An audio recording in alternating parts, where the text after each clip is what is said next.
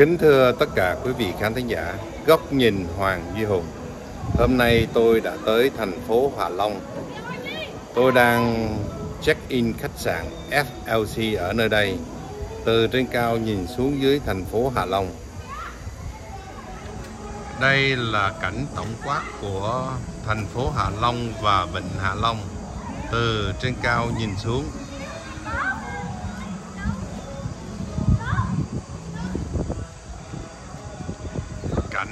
thành phố Hạ Long và Vịnh Hạ Long của khách sạn FLC nhìn xuống.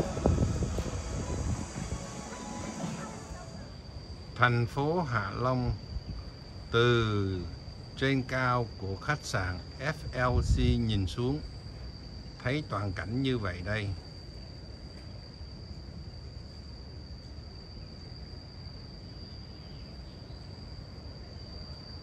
Phía này là cái nhà cá sấu nè. Tức là nhà âm nhạc đó, thưa quý vị.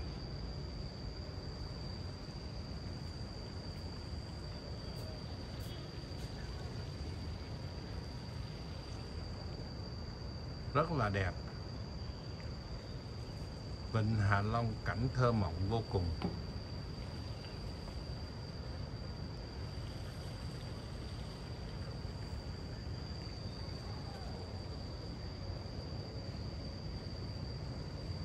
Đất nước ta chỗ nào cũng đẹp.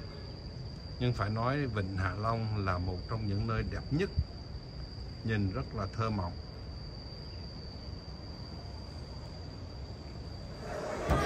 Và đây là phòng lễ tân của khách sạn FLC người người tấp nập nơi đây. Rất là đẹp quý vị.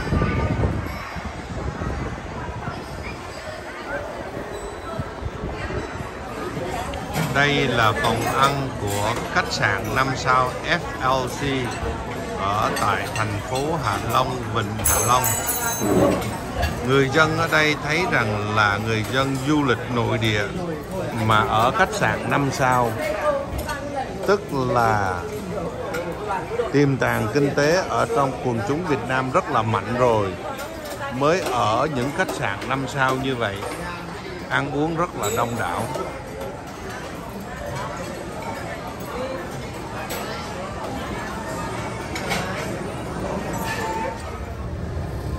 ban chiều phố xá tại thành phố Hạ Long.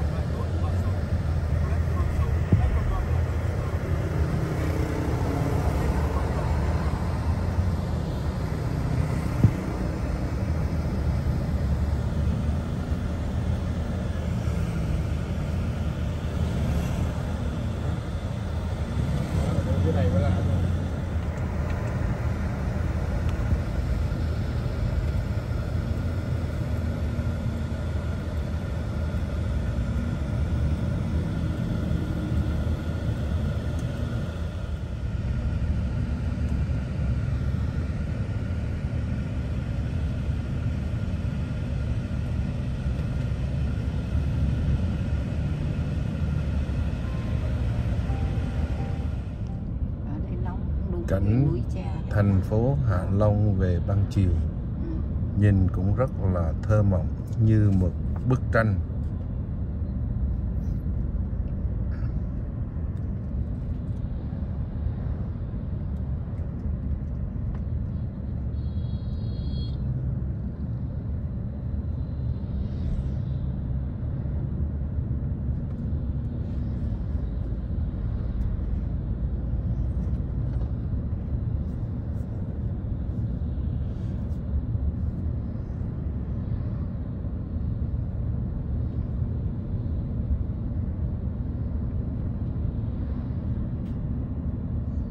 ở đây đẹp quá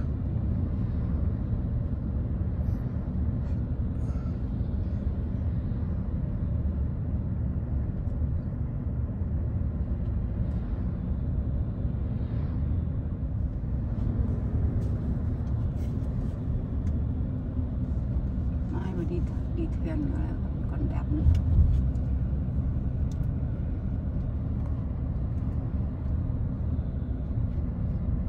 hoàng hôn kìa Hoàng hôn ở tại thành phố Hạ Long. khi cái dịch covid nó xảy ra ấy, ừ. thì nó, nó ảnh hưởng rất nghiêm trọng đến kinh doanh du lịch ở đặc biệt trên này này Ừ. trên này có rất nhiều cái tàu du lịch và tàu, tàu du lịch không vận hành là nó sẽ bị hỏng Ừ. tàu sắt bị gì sắt rồi máy móc tất cả mọi thứ này Xong. thì tàu họ đang vay tiền chưa xong đấy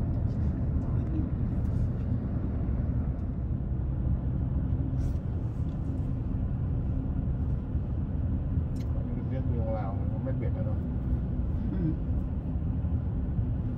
Còn núi.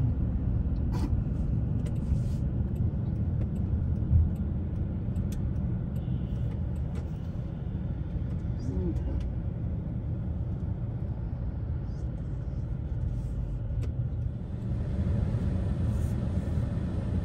Phố xá thành phố Hạ Long vào ban chiều.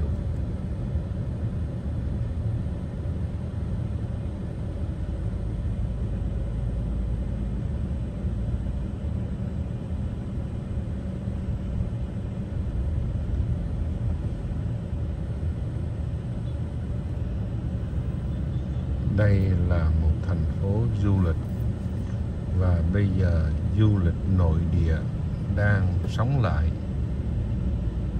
Kỳ trước tôi đến nơi đây thấy rất là nhiều du lịch Trung Quốc, nhưng bây giờ Trung Quốc vẫn còn đang chống dịch dữ dằn, nên chưa có mấy khách Trung Quốc qua, toàn là thấy khách nội địa Việt Nam thôi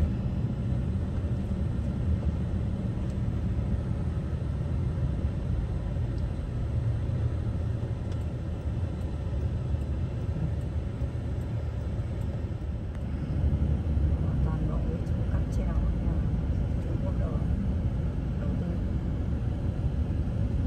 nhìn thành phố Hạ Long rất là sạch sẽ, nhiều cấu trúc rất là đẹp.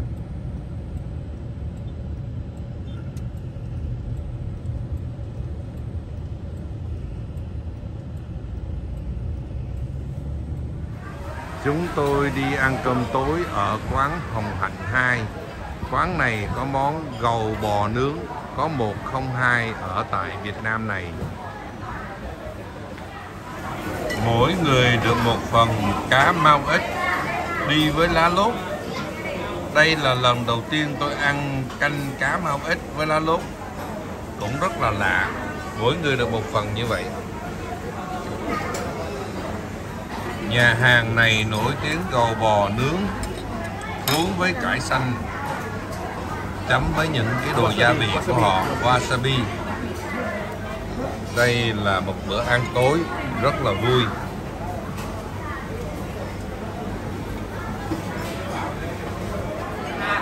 Đây chỉ là một nhà hàng, không phải năm sao. Nhưng nhà hàng này đón tiếp người dân địa phương.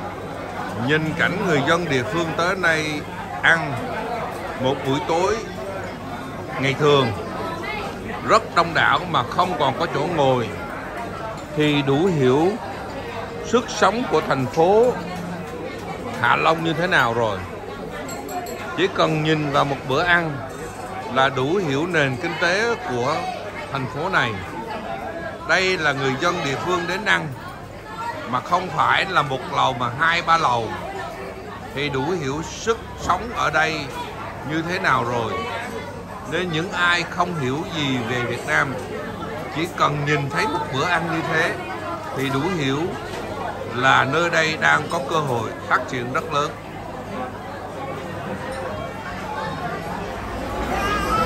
Đang ăn mà thấy khách vẫn cứ vào, vào xong rồi người ta không có chỗ, cứ mời đi thôi. Thì quý khán thính giả đủ hiểu tiềm năng phát triển kinh tế ở tại thành phố Hạ Long như thế nào rồi. Nhìn bàn ăn là đủ hiểu là sức mạnh kinh tế của thành phố đó.